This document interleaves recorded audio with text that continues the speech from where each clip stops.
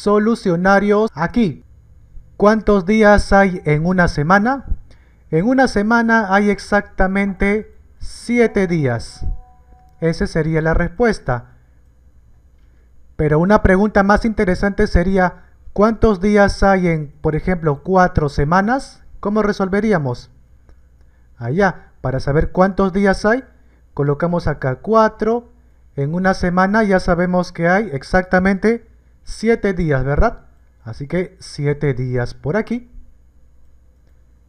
Y este paréntesis significa multiplicación. 4 por 7, 28. Y se escribe bajando días y listo. Entonces, en 4 semanas hay 28 días. No te olvides, entonces una semana es equivalente a 7 días.